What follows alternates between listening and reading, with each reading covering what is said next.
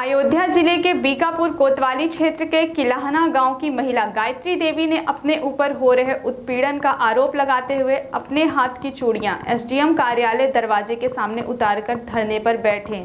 धरने पर बैठकर सनसनी फैला दी। बताते चले, पीड़ित महिला दबंगों के द्वारा इस कदर प्रताड़ित की गई थी कि उसके आँसू रुक ही नहीं रहे थे।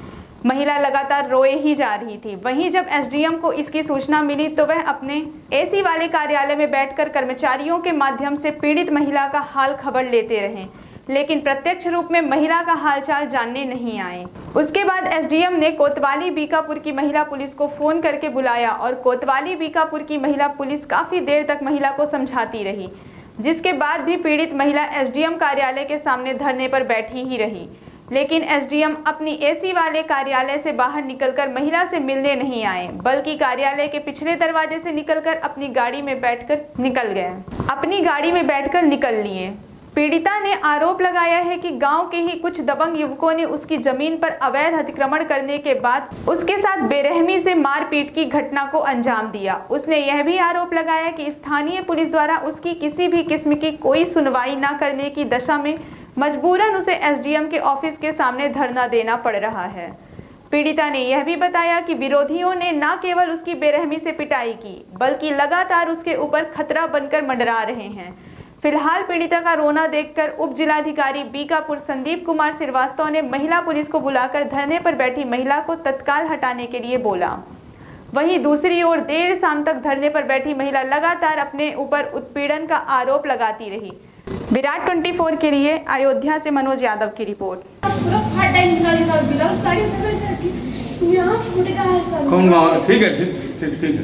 हमारे ग्राम करीब है। शिकायत दर्ज की हम थाने में फिर मैं तो खाई मैंने तो खाई हो अब इस डेम की लगी इस डेम तक मैं न्याय दिया। हमारे पैसे। जाए हम कहाँ जाए?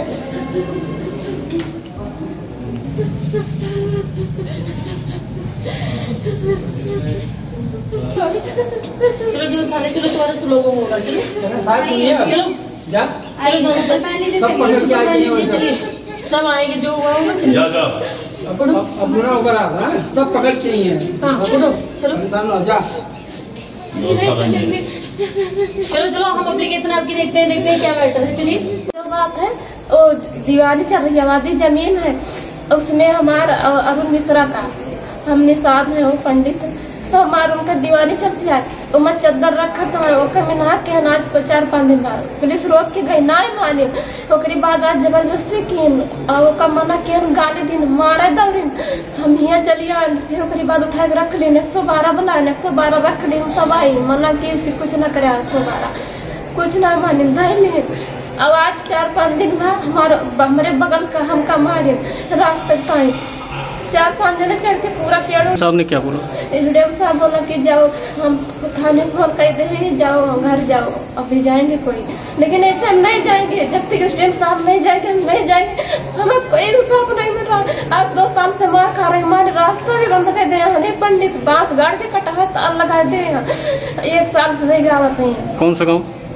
किलाना क्या नाम है? जैसे देवी।